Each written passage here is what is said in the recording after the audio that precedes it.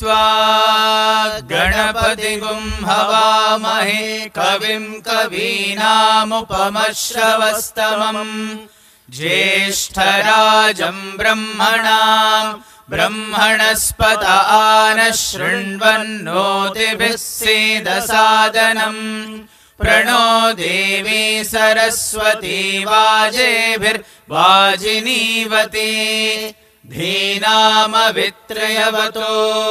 गणेशाय नमः। सरस्वत्यै नमः। श्रीगुरुभ्यो नमः। हरिः Ram. I offer my most loving pranams at the divine lotus feet of Bhagavan Sri Satya Sai Baba. A loving Sai Ram and the heartiest welcome to you all back to the much awaited Satsang series Satsangatve Nissangatvam. I am Anita Vidyolata, a proud participant of the batch 2020 and currently discharging my duties as one of the org team members of the most prestigious Sri Satya Sai National Leadership Program. Dear sisters and brothers, I know that you all have been waiting eagerly for the sessions to be held. So, without much further delay, I hand over to the AV team to introduce our guest for today's evening. Sairam.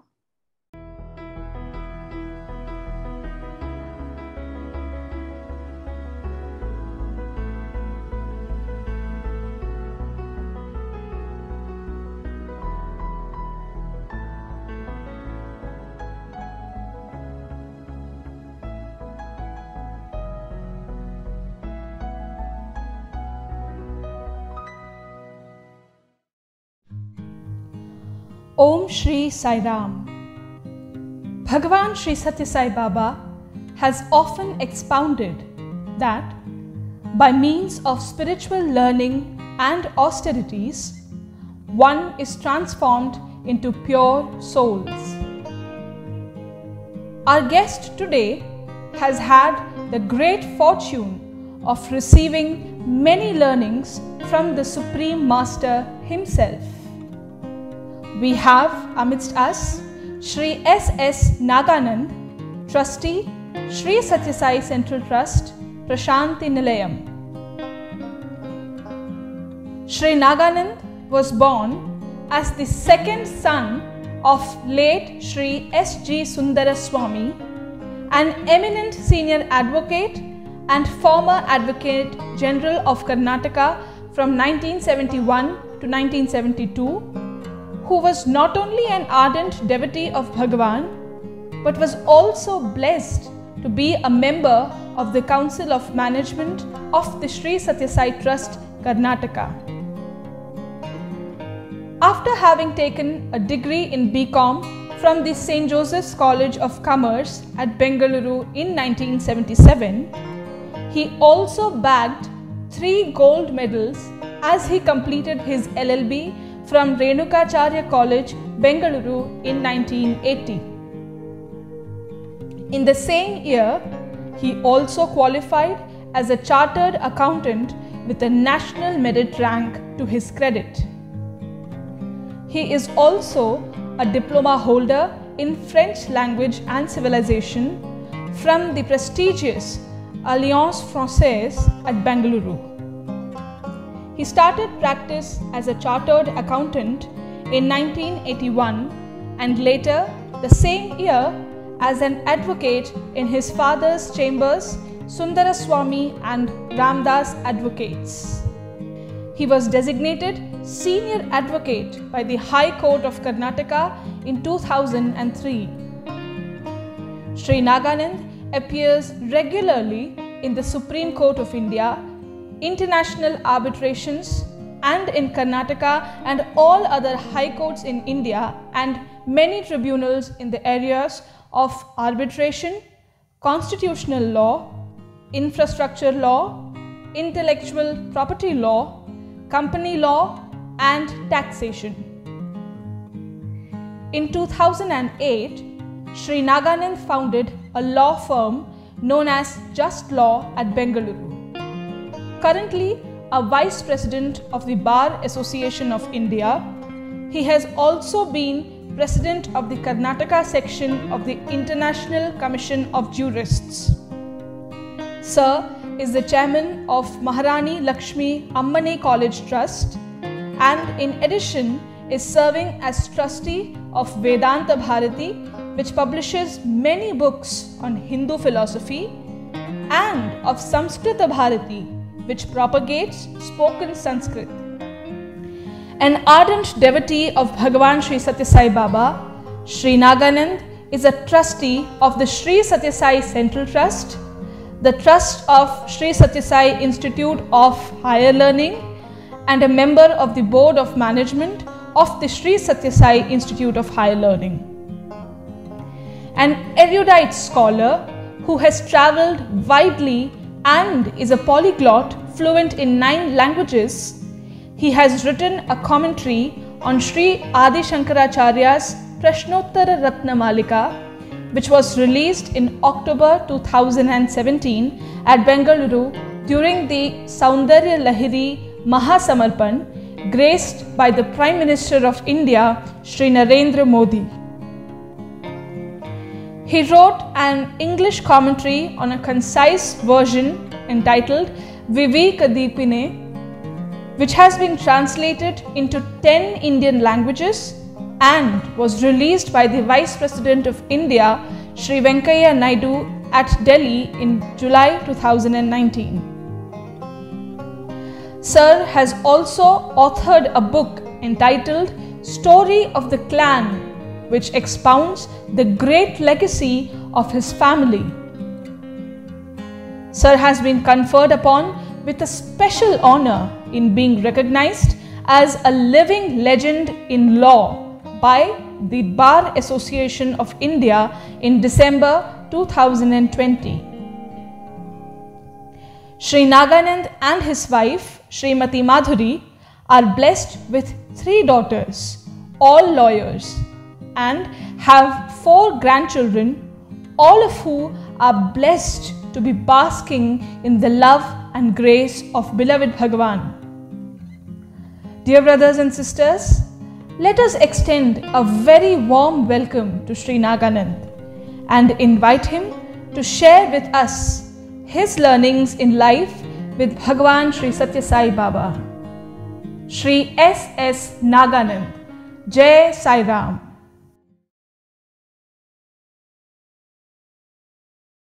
Sairam sir, uh, we welcome you to, to today's satsang and we can't wait to hear from you, sir.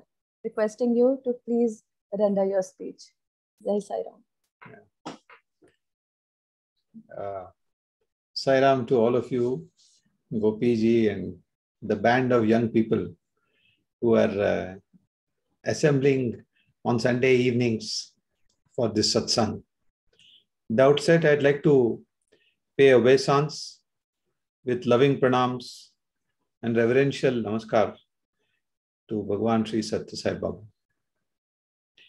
These words of loving pranam, they have a certain important significance. It uh, orients our mind towards a divine force. It's not just some words, but those words have to transport your mind to some place. This evening, uh, they've been uh, asking me to speak on learnings of life. Now, before I do that, I want to quote from Adi Shankaracharya in Prashnot Ratna Malika, one of the verses. Bhagavan Kimupadeyam is a question. Guru Vachanam Heyamapi Chakim Akaryam. So, this uh, composition is a very brief composition in which the great master Adi Shankaracharya talks about uh, a very brief question and a briefer answer. And one of the question is, Kimupadeyan, that means what is it that you should always obey and follow? And the answer, simply one word, is Guru Vachanam.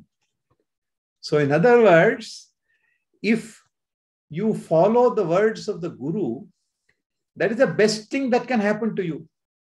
There is nothing more that you need to progress in this life. And uh, one more verse, he talks about Kim Manujeshu Ishtatamam. What is it that people like a lot, which everybody likes a lot, is a question. Answer to that is Swa Parahitayodhyatatam Janma. That means taking birth in which you are constantly given an opportunity to look after the welfare of others in addition to your own. Now, if you these two verses, if you keep, they embody the teachings of Bhagwan. Bhagwan has said so many times about our life, how our life should be, and what is it that we should do for fulfillment in life. You see, most of us are privileged to be born in good families, get good education, go through life without too many vicissitudes, like sitting below a, a, a street light to study. Those things we are not experienced. Bhagwan has been gracious enough to give us everything that is needed for us to live happily. And in a situation like that, what is it that we should actually look for? Now, Swami often said, education is not for living. Education is for some higher purpose. And that higher purpose is when we start looking towards Godwards. Now, no other species in this world has the thinking capacity to reflect and see what direction am I going?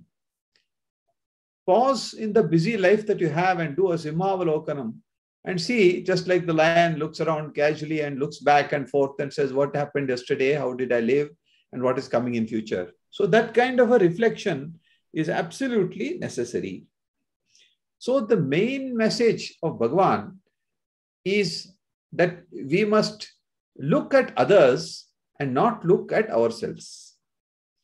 Now, before I come and talk about the philosophical truth which Swami often uh, exhorted us to understand and read, I want to tell you a little bit about my association with Bhagwan and the great blessing that I've had.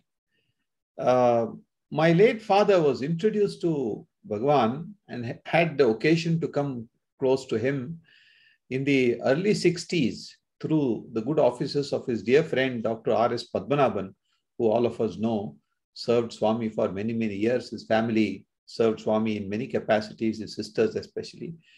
And so that was the first introduction to the family.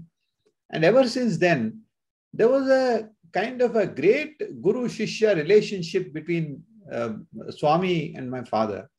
Somehow my father became his uh, favorite because whenever he saw him, he spoke about uh, spoke to him with such great affection and love that it was impossible for us to stay away from Swami.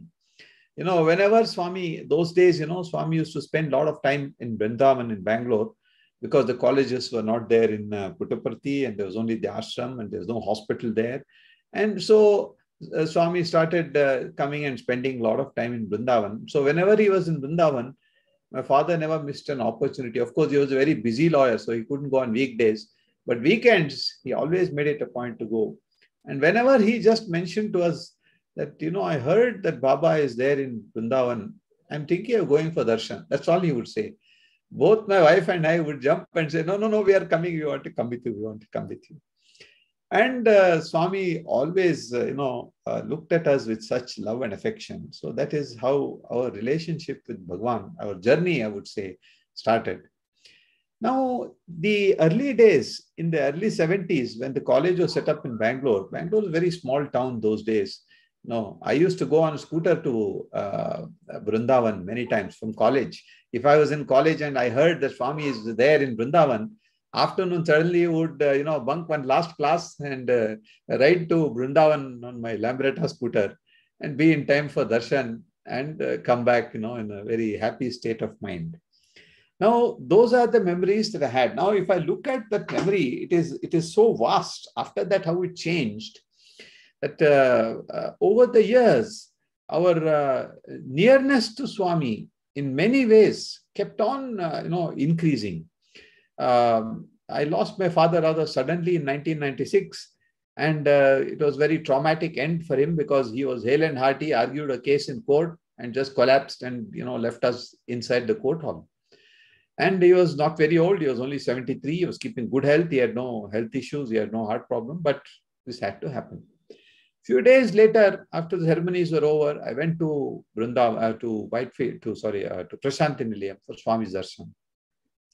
And there was not much contact we had with anybody. And there's a long story. I've written about it in my book, uh, uh, which just now was shown to you, called Story of the Clan. Those of you who are interested may look at it. There's a whole chapter devoted to divine encounters and my life with Swami. Of course, other things are also there. The book is available on Amazon if you want to buy it. And it gives you an idea about uh, how my first meeting to go to have Swami's darshan in Prashanti Nilayam alone without my father's presence. It was very traumatic. And uh, nevertheless, uh, Swami blessed. And the first thing he told me when he saw me, I was in tears. He said, uh, Why do you worry? Your father is with me. He is safe. He is uh, happy. And you have to lead the life now. So don't worry about him. I know you've lost him, but he is with me and I am with you. He immediately added. And he held my hand. And then I said, Swami, you are so kind to us in my father's lifetime.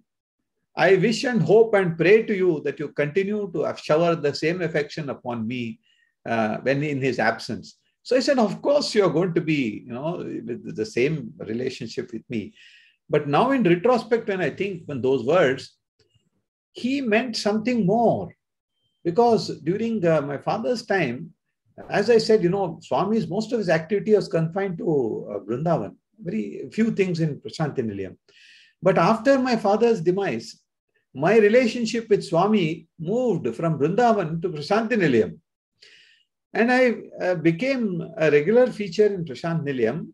And suddenly in the year 2000, when Swami was uh, planning the hospital in Bangalore, one day he called me and he said, uh, I want you to be a trustee of the Satyasai Medical Trust. You know, those days they had a separate trust for medical relief and there was a central trust, of course.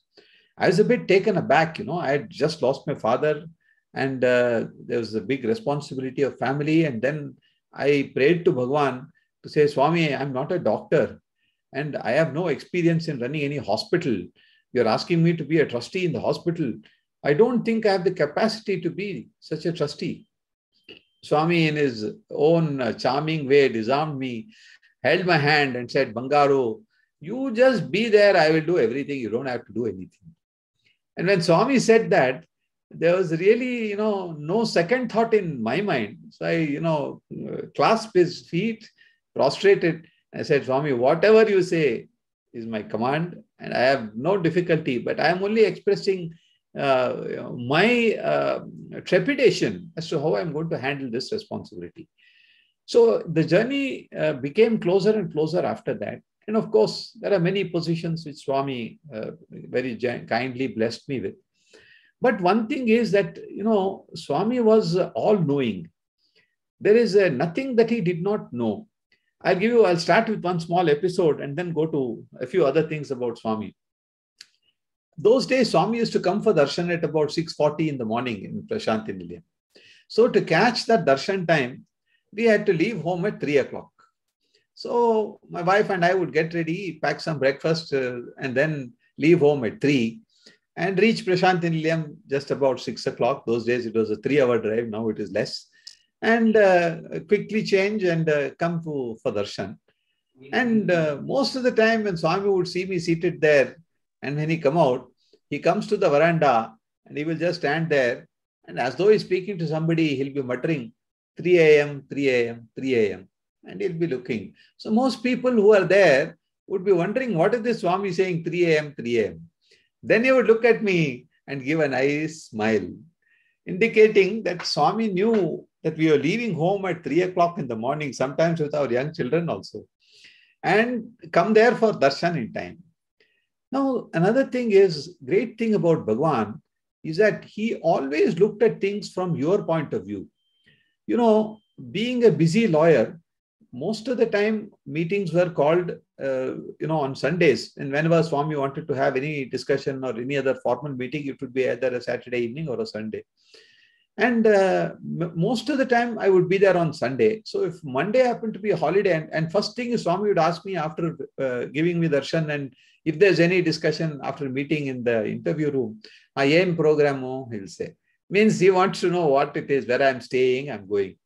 So I would invariably, very apologetically tell him, Swami, tomorrow is Monday, I have to be in court. So I said, no, no, no, you go, you go, you go, we leave before 4.30.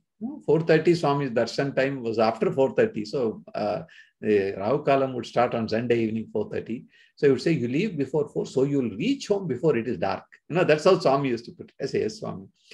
Now, on, on many occasions, when I mentioned to Swami, he would say, Yemi, potava. I said, no, no, no, Swami, I'm staying. Ah, tomorrow you're staying, you've got holiday. Very good, very good. You stay here, you relax. You know, you're doing too much work. You have to stay here and, you know, come for darshan, stay here and, you know, just relax. Don't do anything. And even on those occasions, he never asked me to go and attend any meeting, go to hospital, attend, meet this person, that nothing. It was, at least now we have a lot of meetings. We have our uh, committee meetings and then we have so many other meetings in the university and others. Now, in those days, it was not like that. So Swami ensured that I enjoyed the bliss of his darshan without any kind of, uh, what shall I say, distraction or disturbance. So that was the loving Swami that we knew. Now, many people ask me, you're such a busy lawyer. You know, I used to travel 260 days a year out of Bangalore. I was. Last two years, of course, been different, but that was my schedule. So, how do you manage to go? And invariably, you know, every single time this has happened, that whenever my presence in Vrindavan or Prashanti Nilayam was needed, everything was sort of cleared by Swami. I had that great faith. You know, one day I was cross examining a witness. The judge uh, said, you know, today Saturday, you have got to finish it. And that day, Swami suddenly decided to have a meeting at three o'clock. So when I started the cross examination, Mr. Chakravarti is frantically calling me. My phone is ringing in my pocket and the court, I couldn't pick it up. I went on cross examining. And suddenly, after some time, for no reason, the judge just said, uh, I'm not continuing this cross examination. Call some other witness. And she just kept the file in front. So I was a bit perplexed and I asked my junior, I said, What happened? Did I do something wrong or did the witness do something wrong? And he said, No, sir, I don't know why. Suddenly the judge just said she won't take this case and called some other witness. So I think we can go. So I went out, took out my phone from my pocket and I looked at it. I saw three, four missed calls from Mr. Chakravarti. I immediately called him. He said, Yenaya, phone edukale. I said, No, sir, I was on my legs arguing. So Saturday also you had court, is it? I said, Yes. Then I said, What is the matter? He said, No, no, Swami wants you here at three o'clock. This is at 12 o'clock in the afternoon. So I said, okay, I think Swami has made it possible. I called home. I told my wife, be ready. I pack up my lunch. I'm going to eat while driving.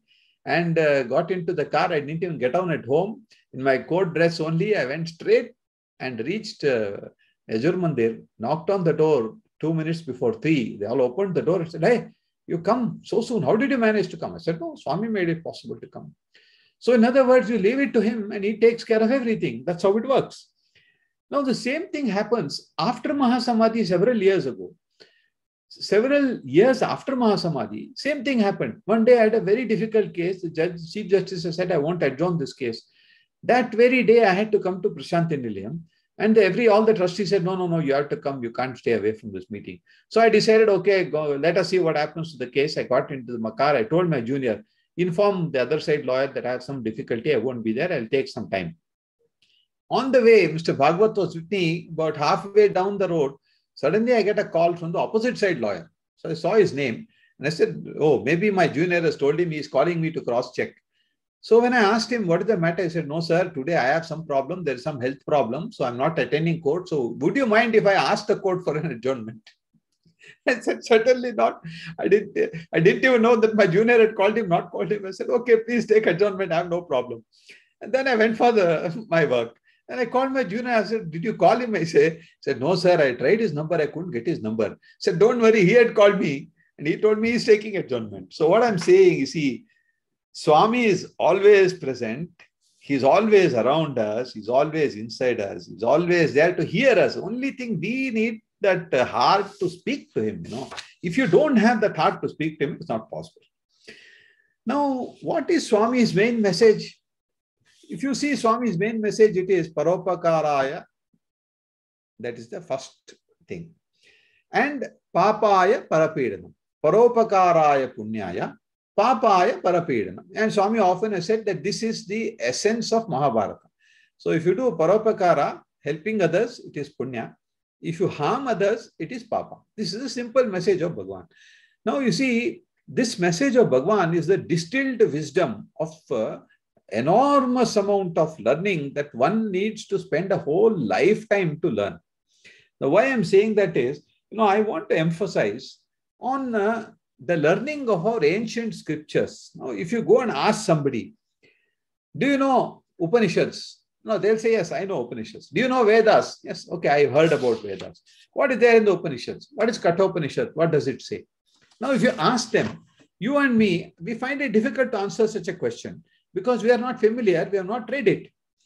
Now, Bhagwan, in his infinite com- uh, compassion, just have a look at this Upanishad Vahini. And have a look at this Sutra Vahini. See, the Prasthana Traya, as they call it, and Gita Vahini is, of course, there. The Prasthana Traya are Brahma Sutras, Upanishads, and Bhagavad Gita.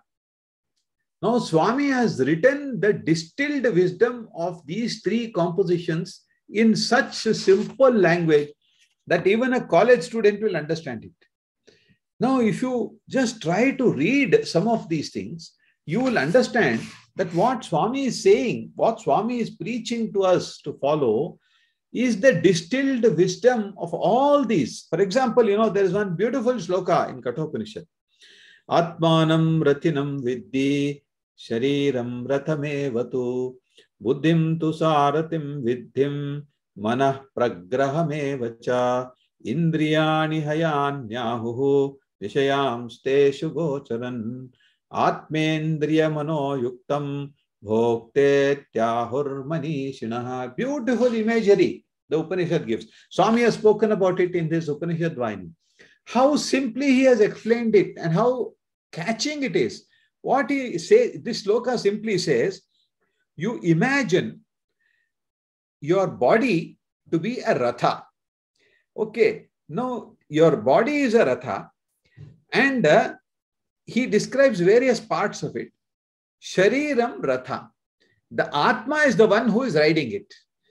Buddhim is the Sarati. And Manaha is the one which holds the reins. Like this it goes. What are these uh, uh, uh self, sense organs? They are Indriyani. They are like the horses in the chariot. And it, it goes on like this. See, what I'm saying, trying to put forth for your kind consideration is that there is such a fund of knowledge that Swami has given us. What do we learn from Swami?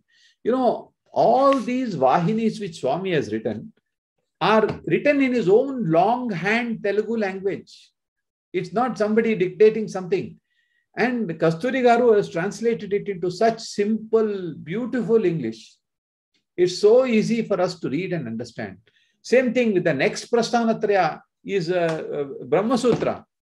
Now, in this, uh, Bhagavan so beautifully exclaims, What is Mimamsa? And there's one uh, verse which Swami often used to repeat Brahmaiva vit, Brahmavit, Brahmaiva bhavati. That means if you realize who is Brahman, you yourself became Brahman. In fact, you must have heard many of Swami's discourses. He says, You are all God. Prema Sarupalara. You are the embodiments of the divine. This is nothing but the distilled wisdom of the Brahma Sutras, on which Adi Shankaracharya and others have written uh, elaborate commentaries on this. But if you see Bhagwan's commentary in Sutra Vahini, it is so simple, so easy. You don't have to, you know, go into any great texts and everything. See, this is very elevating for the mind. Why I say it is elevating is, after all, in the midst of all our busy schedule in our life, in our learning and everything else, what is it that we should learn from Bhagwan? Bhagwan came to teach. See, he gave discourses. There are thousands of them. He wrote all these Vahinis. I don't know how many of you know. Swami wrote the first few years the Sanatan Sarthi in his own hand. It's all manuscript written by him in Telugu and printed. Why did he take all the trouble of doing all these things? Why did he go on repeating to this? Because we are dull headed, you know. If somebody tells us once, we don't listen. If they tell us twice, also, we don't listen. They have to keep on digging it into our head. Swami did that. Do this. Every single discourse of Swami, he said, You are the embodiment of God. How are you going to realize that you are the embodiment of God? The only way you can go, going to realize it is by looking and treating everybody else as a divine being. Why do we have call it Narayana Seva? All the people who deserve treatment from us, they are Narayanas.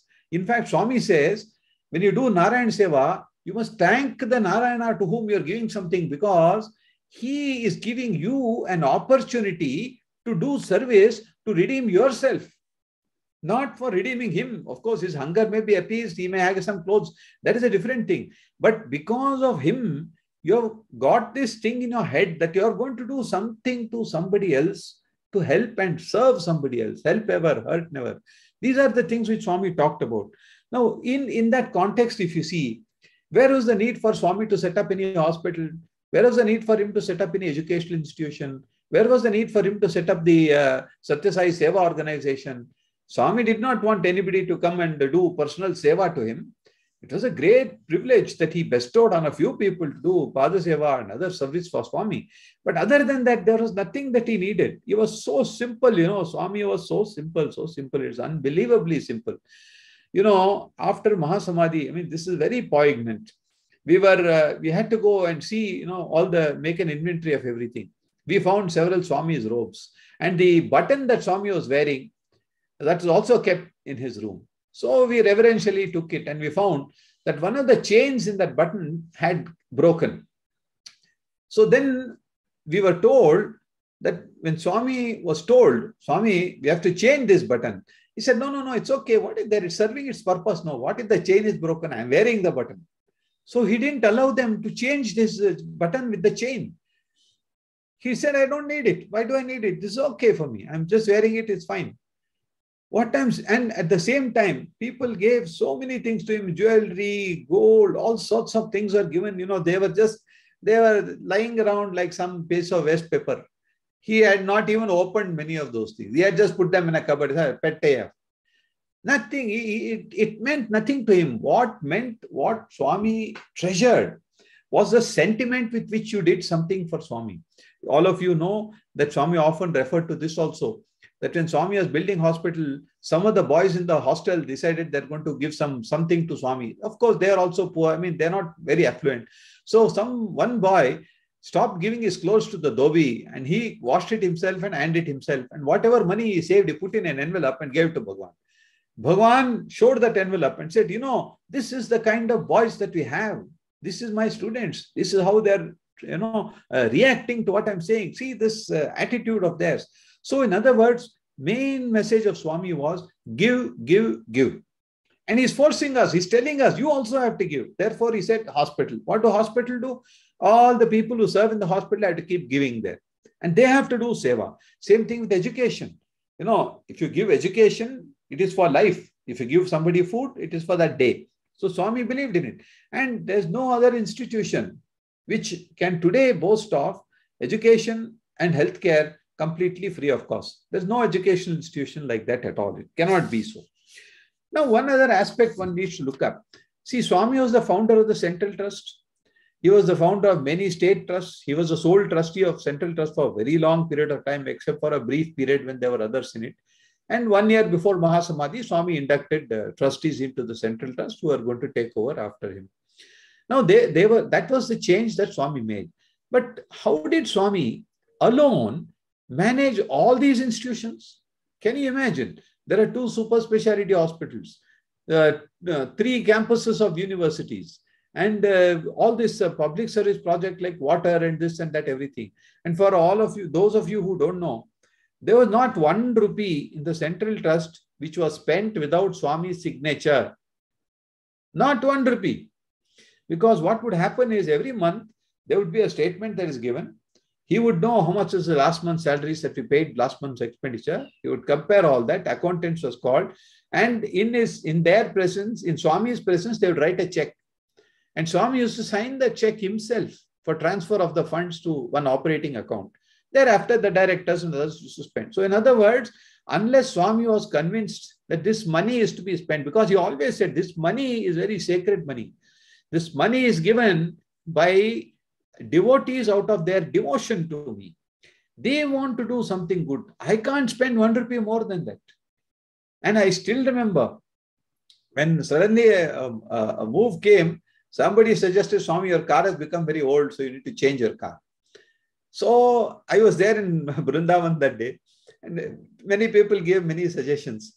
So somebody gave one suggestion about one car. Swami said, Hey, ಅದು చాలా పెద్దది car I don't need such a big car I don't want such a car I got big car I want to change it to small car this what Swamy said so what I'm saying is see the attitude of Swamy and Swamy said my life is my message what does that mean that means you have to live like Swamy he use to eat half chapati and uh, three spoons of rice with a little bit of uh, parpu and uh, some sambar or something and uh, curd that that even a five year old child will eat more than that that was what Swami used to eat for lunch because we had the great privilege of sitting with him for so. And before we could start the first course, he would have finished the last course, washed his hands, and he'll be getting up.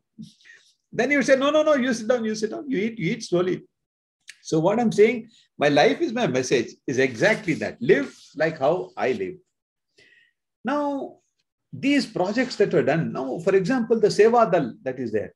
Now, Seva Dal is, is an organization where if you become a Seva Dal, you volunteer to be one, you are going there to do something. You are going there to do some seva, offer something to God, to someone. Now, many people go to hospital, they say how beautifully the Sevadal people are looking after the patients there. So, Swami did not need Sevadal for his seva. The organization is set up to give us an opportunity to be of some service to others so that we redeem our lives. Now, one important thing what did I learn from Swami in terms of management style is something which we need to look at you know, there were so many institutions, as I said. There's the Institute of Higher Learning. There is a vice chancellor for it. There's a uh, board of management for it. There's a finance committee for it. And Central Trust had a council of management, of which I was blessed to be a member for many years. And the trust itself. Now, all these institutions are there. How does Swami run this institution alone? Is a thing which is which is amazing because there are so many things that are happening, including ashram administration. How many guests have come? What kind of food is given? How is the rooms kept? Are they maintained properly? Who is the VIP coming? Who is going? All this is needed to be monitored by Bhagwan. Of course, people like Mr. Chakravarti, Mr. Chiranjeev Rao were there in the ashram. But nevertheless, nothing happened without Swami's direct involvement and blessing. How did that happen? Swami's style of management was a fantastic style. I haven't seen it anywhere else. If there was an issue, it uh, if if uh, I, I, was sounded, for example, and Swami would say, you know, we have to do something like this. What do you say? Or if Swami didn't ask, sometimes we had some issues, so we would go and uh, take time and uh, request Swami that I need to, you know, place this before you. Then he'll give you a time, and then you go and place something. He will think about it, and then he will say, did you discuss if it's an important issue some very uh, you know an ordinary thing he will take a decision some important policy matter something he will say uh, did you discuss this with the chakravarti srinivasan ఏం చెప్పారు that means he expected us to uh, involve other people it's not one person giving some advice and there should be some kind of a view that all of us express so once then when when i uh, later i started realizing this and then I started uh, discussing this with. Chakravarti and others, saying, see, tomorrow I'm coming. This is what I'm going to place before Bhagwan. I'm just forewarning you because after I meet Bhagwan at lunchtime, if you ask him anything, he should have he should have some clue about what exactly I'm saying. So this kind of a consensus was done. Then after Swami considers this, he will say, okay, you discuss with so and so and come back. Then we go back and we huddle and then we uh, think about it and say, what is the best thing to do? Should we suggest this to Bhagwan, not to do, what, how to do, things like that. Then everything is over. We come back to him. Say, then I'll tell him, Swami, I discussed with all these people. These are the viewpoints that emerged, but I think this is what should be the solution. This is how it should be done. Then he'll say, Amanchidi. Then he will then find out for himself that what I've said is correct. Because if I mislead him and tell him something which didn't happen, then he should be, he should know that. So he would make sure. And uh, the great thing was that there was a consensus building. You see, a great manager is one who ensures that there is consensus. And sometimes there are different perspectives. Swami will call all of us, make us sit there, and then he will expound his viewpoint. Then everything will fall into place. So what I'm saying is this consensus building is something which is a fantastic tool which Swami used to ensure that uh, the, the affairs of the trust at the secular level are very uh, cleanly run. One other important message which we can never forget with Swami is whenever he, he, he raised, suppose there's a doubt somebody raised, usually some income tax doubt will be there, some finance person, some doubt will be there, some other issue, some legal issue will be there. So he will ask, oh, this problem is there. What do you think we should do? So then uh, I'll apply my mind and I'll tell Swami like this. Then he will say, Are you sure that by doing this, you will not be violating any law? First question is that. Don't violate any rule or law. We should not be acting contrary to law first. Sometimes, you know, in law, its a gray area is always there. It could be this way, it could be that way. And there are two interpretations possible. So then I would mention to Bhagwan Swami, itlano chaptu, atlo is okay. Which what should we do? I mean, this is okay. Then he would say, No, no, no, not like that. You tell me that course which has no chance of being opposite view from what government may take or authorities may take. That means the path that you take must definitely be not one which is capable also of being held to be wrong. If there is a slightest chance, don't do it. Why give room for that? If something is likely to go wrong, you think it is not going to go wrong, and you go along that path, then you will realize that sometimes if it goes against you, then you'll say, Are, I took a chance and now this is the position you're in. So Swami's second management rule was fantastic rule. I don't know how far you can implement it in the commercial world, but the rule is if there are two views possible, one is doubtful, another one definitely you are going to be right, then you take that one which is definitely right. Don't take the one which is not right. Then, uh, in addition to these management styles, you know, Swami had he had some is divine, you know, some kind of a relationship he built with you. The you know, in the thousands of people who are sitting in Kulwant Hall, every single person, wherever he or she was sitting, would think Swami is looking at her, would, would feel that he could, he or she could communicate with Bhagwan. And Bhagwan would hear and understand it. And Bhagwan was able to actually see and perceive everything, you know, by just standing in front of somebody and looking at somebody, all those problems are resolved. Just like how in Dakshinamurti it is said, no? Uh, Gurostu maunam vyakhyanam, shishyastu chinna samshayaha. Many times, you know, you sit in front of the Guru in total silence, all your problems are resolved, your doubts are resolved. Shishyastu chinna samshaya. Is samshaya is gone. How does that happen? It happens because of communication. Now, many times it has happened to me. In fact, once what happened was I was waiting, I had to place something important before Bhagwan. And I went there on a Sunday morning. I realized as I was entering veranda, there was a chair placed where I would normally sit. So I realized that some VVIP has come, whatever it is. So I thought to myself in my mind, immediately that thought came to me. Oh God, today I don't think I'm going to get Swami's time because that VVIP is there. Swami will call him in. It will be nine o'clock bhajan. Then uh, Swami will go for uh, lunch and it won't be possible. I, this thought occurred to me. Anyway, I sat just behind the chair. A few minutes later, that VIP came and he was seated, and Swami came for darshan. He didn't uh, look at him. He just uh, uh gave, gave darshan in the veranda and went straight to the room, then sent for him. And he was called in with his family members. I thought now door is closed, nine o'clock only, it will open just at bhajan time. Believe it or not, as this thought was crossing my mind, in a few minutes' time, less than five minutes, door opened. Swami himself opened the door. And, you know, he had that beautiful way of opening the door, standing like this and swaying at the door. So he did that, allowed these people to go out. Then he stood there. And, I'm, and by then the chair was removed. So I was right in front of the door. So he's looking at me. He doesn't say anything to me. He's just smiling, looking at me. Then he turned, said, hmm, Ra. That's all he said. So I went. So I went inside. Swami sat in his uh, throne. I sat at his feet. I prostrated. I touched his feet. And then I wanted to say something which was in my mind. Then uh, Swami started talking about something. He started talking about me, my family, this work, so many things he started talking. Then afterwards, he kept quiet. So when Swami kept quiet, I took the bless of bliss, the bliss of bliss, the, the blessing of bliss, and sat quietly. He did not utter a single word for more than half an hour, or 20 minutes or so at least. I was also quiet because till Swami says you speak, it's not appropriate for us to say, mm, yeah, cheppo. Then we can say something. No, he didn't say anything. Then at the end of it, he looked at the watch. You know, he had a habit, suddenly look at the watch. He looked at the watch, five minutes to nine. He said, ah, cheppo, yem, yem, cheppo. What is it you want to tell me? You wanted to say something? No, you tell me that. So then I placed something before him. Before I could finish two sentences, he picked up that and said, okay, okay, yeah, we'll do that. That's a good idea. You can do that. Ni cheptanu, he said. And then, ah, chudo, nine o'clock. Bhajan avutundi. Come, we'll go for bhajan. And it was over.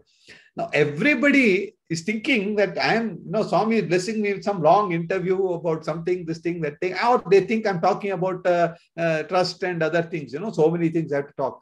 But it was not so. It was only Swami's blessing. That's all there was to it. So, and then one word he said just before, I forgot to mention this. As I sat down, he said, hmm, minister వస్తారు పోతారు వస్తారు పోతారు మీరు devotee అక్కడ ఇక్కడనే ఉంటారు this is what he told me. So, in other words, in Swami's mind, these big people who come, you know, many times people ask, why all these, you know, big people, some of them with dubious records, all of them come and Swami, why he has to see them and why he has to bless them, why he has to treat them like this. So the simple answer, we get it in the Upanishads also, is that when God comes to bless somebody, right, he has to look after those who are downtrodden also the people who are leading a righteous life who are following the path of dharma for them god is uh, omnipresent in their life. He's they are always in their heart. So there's nothing much that has to be done. But whereas somebody who's not like that god has to take little more effort. You know in that uh, famous episode when krishna is lying down and uh, war is declared both uh, dharmaraja and uh, duryodhana come to Krishna to ask for assistance. In that episode, also, if you have uh, read from Mahabharata, you'll see Krishna is pretending to be sleeping. Duryodhana comes and sits by his head, and Arjuna comes and sits by his feet. And then he gets up and makes drama, this, that. Okay, the rest of the story goes on like that. That means you who are inside, God is inside you. You know, uh, after all the hundred uh, Kauravas die, their mother is asked, you know, all this has happened, you know, what, what is all this? She utters one word only, Yato dharmaha tato jayaha. So she knows that her sons were on the path of adharma. Therefore, they can never win. The path of dharma will win. So what I'm saying is that when Bhagwan is blessing somebody, it is he who is in his need of blessing. In fact, I, I, I, should conclude, I think now, with only one few words. You know, there was a very strange thing happened when I was president of the Rotary Club. Uh, I asked Bhagwan, can I get all my club members? They want to have darshan. He said yes. So it's a long story. I'll cut it short. So we all of us came and Bhagwan blessed us with an interview. There were about 25, 30 couples in that small room. Swami picked out two people and he called them he, he asked about their personal things. He blessed both of them with a ring. And we were all wondering, everybody was playing the fool. Yeah, no, Swami is blessing only these two people. He is not giving us. Of course, he gave all the ladies saris and all. That's a different thing. But among the men, only these two got special treatment. Everything was over, everything forgotten. You know, these two people had the greatest problems in their life. One of them developed blood cancer years later. And of course, he was a great human being, a great devotee. And his devotion saved him. He's still alive, thank God. Thanks, Swami. He come, came out of it. He had a bone marrow transplant. The other person is also a very fine man, a chartered accountant. His daughter had just got married. She got into matrimonial problems. These are the and rest of the group, whoever was there, nothing happened to any of them, and Swami didn't give them anything also. So, what is the answer one gets from this? Is that when Swami blesses somebody, it is with a purpose. It is something that is needed for that person. So don't think that Swami is blessing only some big man, small man, this man, that man. It's nothing like that. It's it's, it's Swami's compassion is always you know overflowing, and that that is exactly what we need to learn from Swami. I think I have to conclude now by just uh, citing uh, one small doha from Kabir. सब धरती कागज करूं लेखनी सब बन राय सात समुद्र की मसी करूं गुरु गुण लिखा न जाए what a beautiful doha it is you know that means the whole universe the earth if you make it into paper all the oceans you make it into ink all the trees in this world you make it into pens and you start writing the guna of the guru the characteristics of the guru the greatness of the guru it will not be sufficient. So, when we are blessed with such a great Sadguru, who is so compassionate, who is so approachable, who is so much part of our life, he knows everything. You know, I can I can go on talking for another two hours about episode after episode after episode where Swami is showing that he knows what is going on in your mind. Why can we not control our mind? We need to control our mind. We need to control our thoughts. We need to control our actions. We need to think of good things to do. Be good, think good, speak good. Swami always said that. No? If somebody insults you, just say Sairam and keep quiet. If somebody praises you, you say, No, no, you're praising me like, oh, you should not have made such a big video about me and all. That. It's not necessary. I, I'm feeling embarrassed, you know. With the Swami devotees, you should you should just say two lines. He's a lawyer, trustee of Central Trust. That's all. Rest of it is all it's all immaterial in Bhagwan's place. What is what is Bhagwan and what are we? We are nothing, you know. It is important for us to lose track of ourselves in front of Bhagwan. That is most important, you know. Uh, humility is something which is absolutely essential. And these are the lessons which we learned from Bhagwan. And there is the lessons are unending. So I will only conclude by exhorting all the young people who are there and all the not so young people also who are there. Please, please, please take Bhagwan's Vahinis. Please read them. Read them slowly.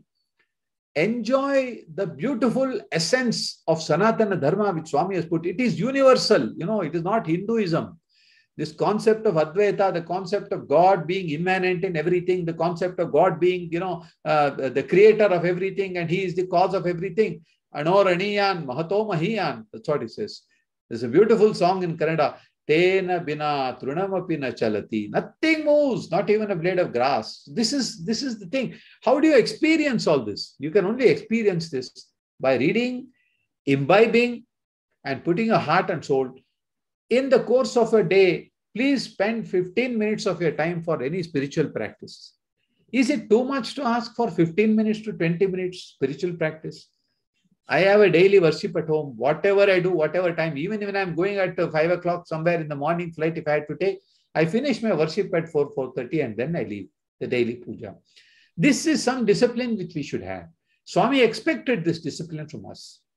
Let us, if we are true devotees of Bhagwan, let us take a pledge today that we are going to follow this path. We are going to find that little bit of time for our own sadhana. Sadhana is necessary for us.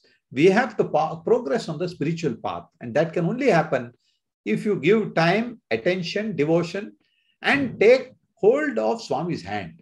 Swami's hand is always available. All these publications are there. Please take them, use them, read them, and follow them. Thank you. Saira. Om Shri Sai Ram.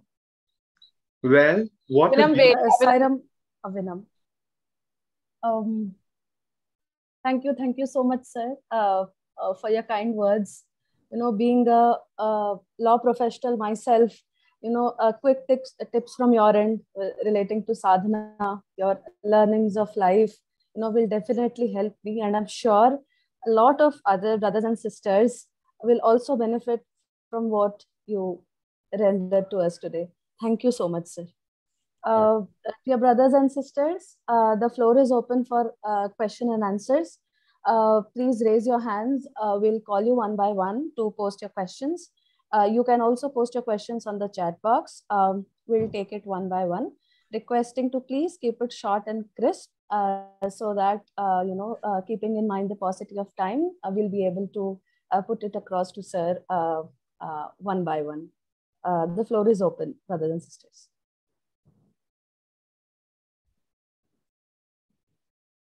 Okay, uh, we have the first uh, hand raised, sir. Uh, it's OD NLP 22 M13. Uh, requesting brother to please unmute yourself and um, speak, speak out your question.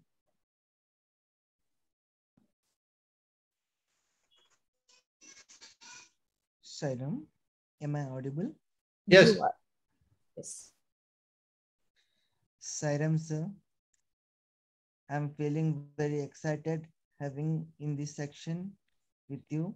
My question is, as for a long time you have been with Swami, so I have to ask you that uh,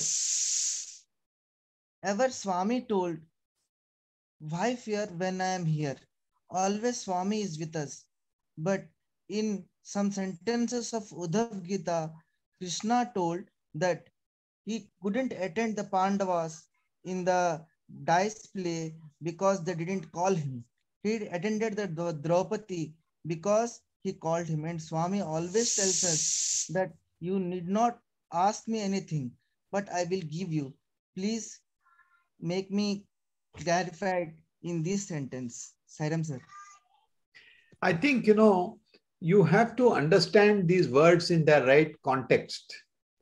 Now, if you don't ask Swami, he may give you, he may not give you.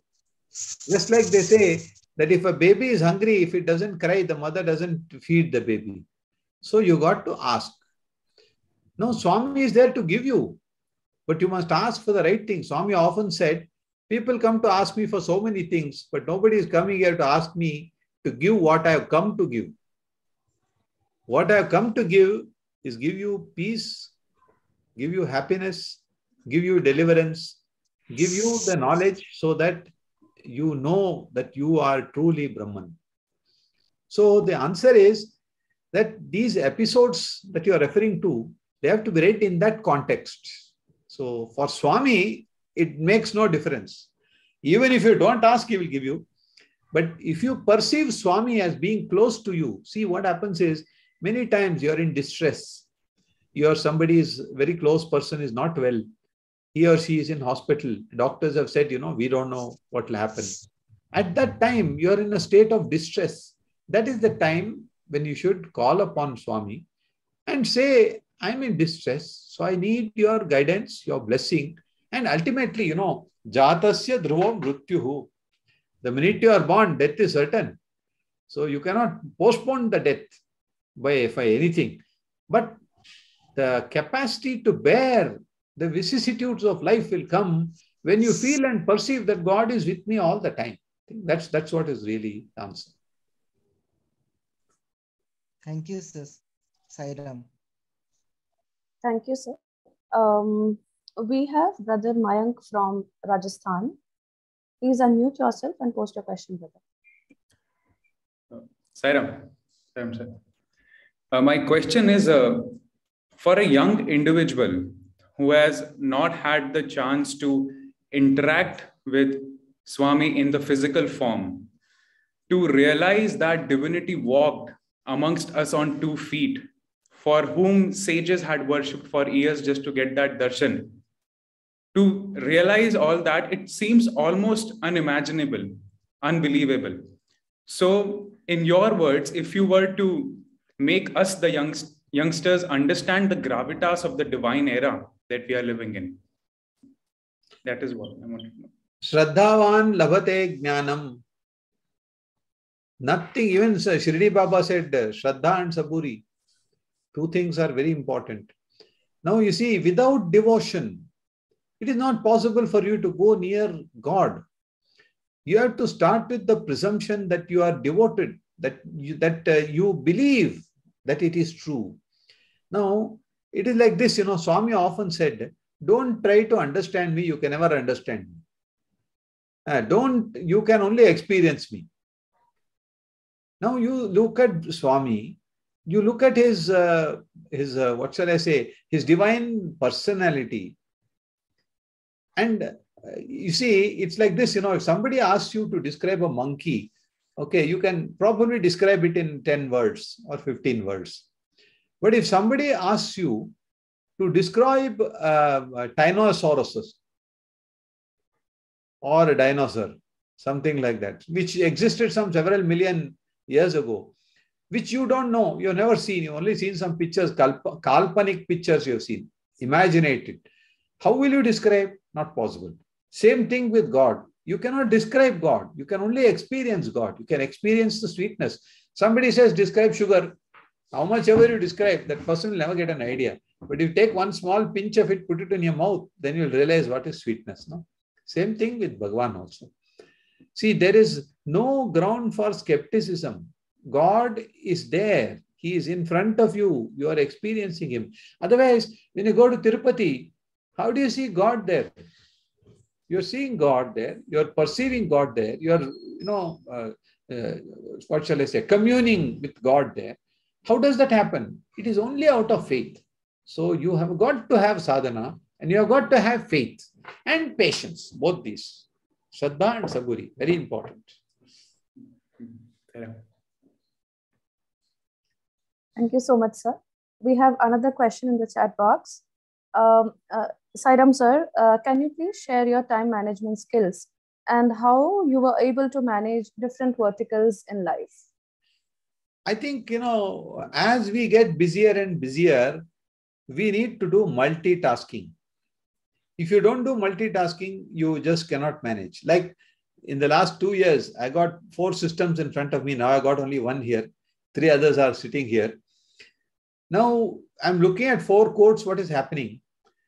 And in the middle, when I'm waiting, I got another file on which I'm working. My mind is in here seeing what is happening. Sometimes I got two microphones in different codes and I'm reading something here. So that means simultaneously the brain has capacity to do four, five things. That is very important. Now take, for example, a musician. He's singing. He is remembering the words.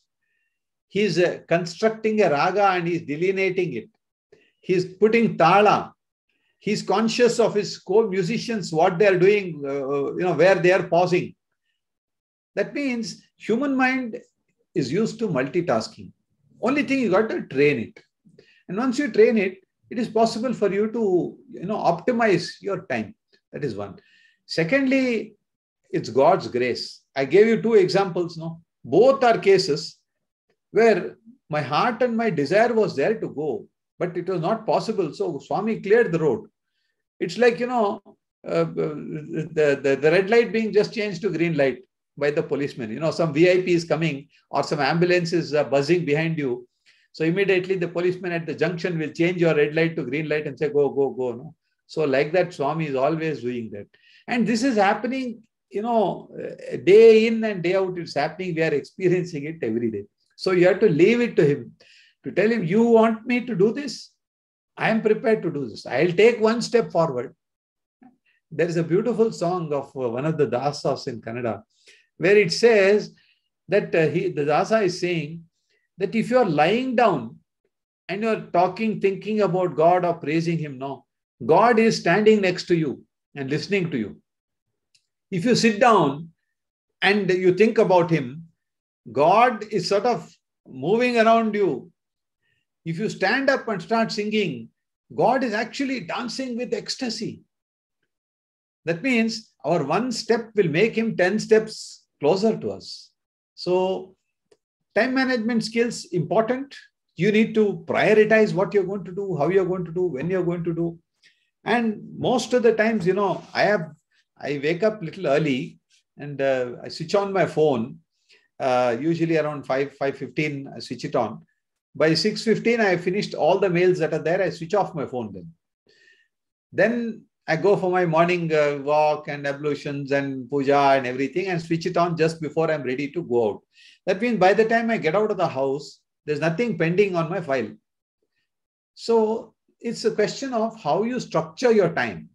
And one more thing, you know, I, a sincere piece of advice I, I told many young people, you know, there's push notifications which keep coming to you know, for heaven's sake, just stop seeing them, you know. Google will give you 1 million pieces of information which you don't need. You know, and, and the minute you open one of them, then you will get 10 more of the same because they are mapping what you're reading. And all of that is unnecessary. You have to prioritize that this is something which I, for example, Sai inspires I get, Sai message a day I get, Bhajan a day I get. These three, I the last thing I do before I switch off the phone is listen to them and read them. And one more, Mr. Krishnamurthy sends it, you know, Tumuluru. That is a fantastic, you know, uh, message that he sends every day. Uh, Sai the Omni. Those of you who have not subscribed, I think please subscribe. It's a very, very beautifully selected small portion from Swami's writings. It's, it's superb. So these three things you read and switch off your phone. So that's that's I think how you need to handle this time. Thank you, sir. Uh, One more question I see on the chat box. You want to take that? uh, we have Sister Sharanya, uh, sir. She has been raising her hand Okay. for quite some time. Okay. Uh. Sister Sharanya, please unmute yourself and post your question. Uh, Sairam sir, uh, my question is, um, should we have ambition or uh, surrender everything at Swami's feet? No, you certainly have to have ambition and you certainly have to put in effort. There's no doubt about that at all. No, the Swami always used to say this. Uh, one saying of his was a uh, uh, beautiful saying he used to give. Uh, it is uh, యత్న ప్రయత్నము మానవ ధర్మము జయాపజయము దైవాధీనము yatna and prayatna both they mean yatna is little more effort prayatna is the same thing this is manava dharma. That is your dharma. You need to do that. If you don't do that then you're failing in your duty. Then whether you get the result or you don't get the result that is not in your hand. Karmanyeva adhikaraste ma phaleshu kadachana that's what bhagavad gita says. Swami has put it in this fashion. So you have to have ambition. You have to put in effort. Now you want to you know uh, pass chartered accountant examination all your friends are going for movie you also want to go for movie most probably you won't pass the ca exam. That's what will happen. But if you tell your friend sorry boys i'm not coming with you. You enjoy your movie. I'm going to enjoy my studies. After exam is over i'll come to see you. Then you may pass the exam. So in other words there's always a trade-off. And you need to be clear about it and you need to put that effort. So i think ambition plus effort. And then don't think of the result. If it comes good, if it doesn't come, okay, next better luck next time. Thank you, sir. Thank you, sir. Uh, we'll take the question in the chat box. Sairam, sir, you said God is omnipresent. Um, yet most of them are facing physical problems like financial, family, diseases, leading to failure of peacefulness. Uh, why such things are happening? How to take such type of things when happens, and while we are at extreme sorrow. A few days ago, there was a program of Saundara Lahari in that the Jagadguru Sannidhanam of Sringeri spoke. And he gave a beautiful illus- illustration. I think it's, it's worth repeating it. Now, this past karma which you have, you are saying, today I'm in difficulty, I'm facing problem, right? This problem, if you believe in karma theory, is because of your prarabdha karma, sanchita karma. These what have come behind you, your baggage which you're carrying, which you don't know when it came from. This janma, some other janma, what papa you did, what wrong things you did, all that baggage is lying. Now, there you're standing on the banks of a river. You want to cross over to the other side. You're trying to swim across the river. If you're a good swimmer, you'll go. If the lake is placid, you'll go through quickly. But if there's a big flow of water coming down the river in the current, and if you want to cross, what will you do? You'll have to use more effort. That means you have to become a very good swimmer and use all your strength to go across. Now, this is just like that. When you don't know the amount of flow that is there because you don't know your past karma. So don't blame God or anybody else for the difficulties which you are facing today. that is due to some past baggage which you're carrying. How can you get rid of this? Swami has said this also. That if with God's grace, everything is gone. In fact, he has said, I can, I can vanish all your karma in one second. But that has to come from God's grace. So the thing is, if you face difficulties, you can't go and blame God. You have to blame yourself for it. Then how to overcome it is you have to do good. You have to be on the right path. You have to follow dharma. And you have to follow everything that you're supposed to do. Help others. Do collect all the, it's like debit and credit balance. You know, these are all debit balances. So the more credit you collect, the debit balance gets nullified. But unfortunately, in this game, you don't know how much debit balance you got. It's like this, you know, if you know you got 1 lakh loan, then you have to earn 1 lakh and repay. You earn 1 lakh, but you don't know how much the loan is. If the loan is say 100 lakhs, with all your effort, you earned 1 lakh, you repaid 1 lakh, still 99 lakhs is remaining. For that to clear, you need God's grace. That's how the accounting works.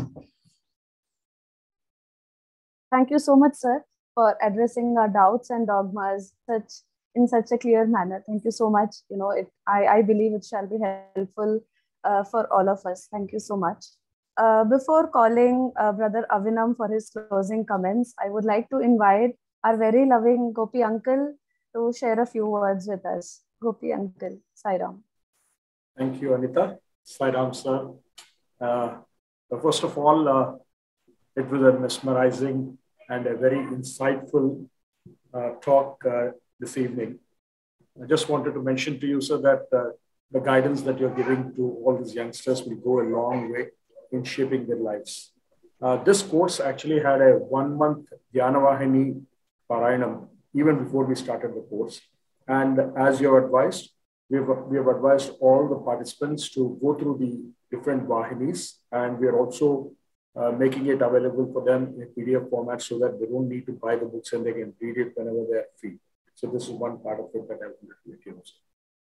The rest of the things, you know, sir, uh, having been so close to Swami and uh, the inputs that you have given, the insights of how Swami actually led a simple life is uh, sometimes gives us uh, being in this concrete jungle of life, the corporate life, whatever we see. When God lives such a simple life, you know, His message is so dear to us, and uh, we pay definitely. And you wanted us to make a promise to ourselves that you know, uh, we, we definitely want our lives to be His message, and uh, we are definitely going in that path right now in this leadership program for self transformation. Though we call it a leadership program, the entire program is only for self transformation, and that is what we are embarking upon right now. Uh, soon we'll be having a, uh, at the end of this course, we'll be having a valedictory function, and we'll be very happy, sir. Uh, you should come again and uh, address the students in person again. We just finished the last year's program about a couple of months back in April. And on behalf of all those organizing team members and All India President, we'll be very happy if you are there physically, personally to address the students once again when we come up next in the program. With these few words, uh, thanking you, uh, divine blessings on you and your family for a wonderful work and wonderful uh, message of the Divine Master that you're taking forward as a Central Trust member. I now take it forward, uh, request Avinam to uh, propose a word of thanks. Over to you, Avinam. Thank you. Om Shri Sai Ram. Offering my most reverential pranams at the divine lotus feet of our most beloved Bhagavan, the Karunamai, the Daya Sagara, Bhagavan Sri Sathya Sai Baba. Well, brothers and sisters, what a wonderful way to end the week as well as to start the week, to hear from an exemplary leader crafted by Bhagwan himself. Well, brothers and sisters, it's an honor and a privilege for all of us to hear from Sir Sri Naganand, trustee of the Sri Sathya Sai Central Trust and the trust member of the Sri Sathya Sai Institute of Higher Learning. Well, firstly, I would like to offer our collective love and pranams at our most beloved Bhagwan for giving us this beautiful opportunity to hear from such an exemplary leader who has led us and has shown us how Bhagwan had always done his work. Well, I would personally like to thank Sir from the behalf of the Sri Sathya Sai National Leadership Program for Self Transformation for bringing Swami closer to us and sharing such beautiful stories and experiences, which has projected Swami as an ideal leader who has always showered love and has guided us to the right path. Before ending, I would like to also thank our most beloved convener of the program, Dr. Gopi Krishna Pidatala, for always guiding us and always pushing us to do our best. Well, brothers and sisters, we have just finished with the project management course yesterday and this morning. Well, wishing you all for the best for your project management days that we are going to witness in days to come.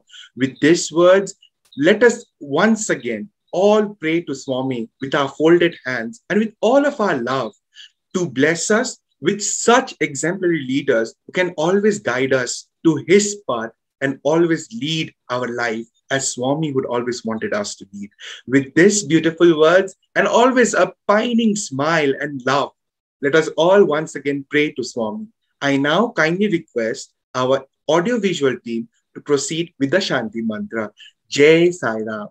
समस्तलोकाः सुखिनो भवन्तु